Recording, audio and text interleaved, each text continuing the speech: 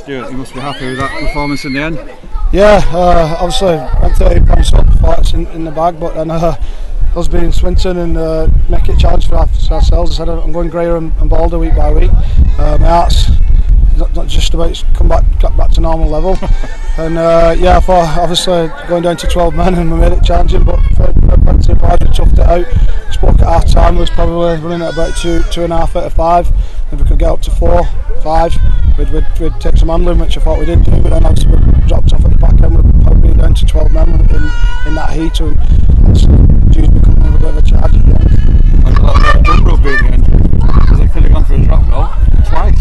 Yeah, they could have gone for the drop goal, and obviously, to obviously they made that shout. I'm glad they made that shout.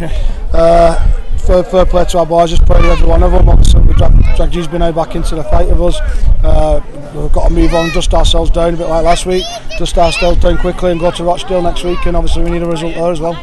Good uh, performance as well today from Paddy Jones on his first attempt. I thought Paddy Jones was outstanding. His leg drive and uh, into contact, his, his, his, his desire for and his work rate was second to none on the field. Uh, he, really impressive what he, what, he, what he played there today. And a bang on the head seems to have done George well with a couple of. Uh, yeah, I just said ch Chase on the way he got the ball in the last tackle. I didn't know if he had that in him, but uh, he's just told me it was on a piece of string with a bounce and that, and it was all in the bag. He, he, he, he practiced putting backspin on what he's practiced at training. He told me so.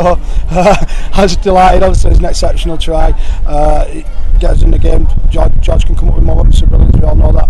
It puts us in a good position now for the game next week at Rochdale and Rochdale had a big performance against them today. But, uh, yeah, the results have all gone for us really. Sheffield getting beat and Rochdale getting beat. Uh, obviously, us beating Dewsbury just, and uh, it's been a good weekend for us. Like I said, it was the focus now shifts.